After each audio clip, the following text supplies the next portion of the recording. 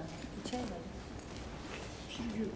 Так, съемка вот здесь. Так, сколько у нас? Одно все свободно? А, два. Ну, еще подойдет, еще подойдет Вязова, это знаменитая журналистка.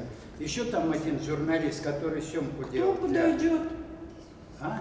Кто подойдет? Вязова Наташа. Казалось, Она, она закончила международную эту МГУ, не, не МГУ, а как это, по дипломатическому направлению. Виктор Николаевич, можно я пока Всё. свою того покажу достаточно. друзьям? Помню. Хорошо. Не, ну я же уже начну говорить. Ну, пусть там пока смотрят. Да.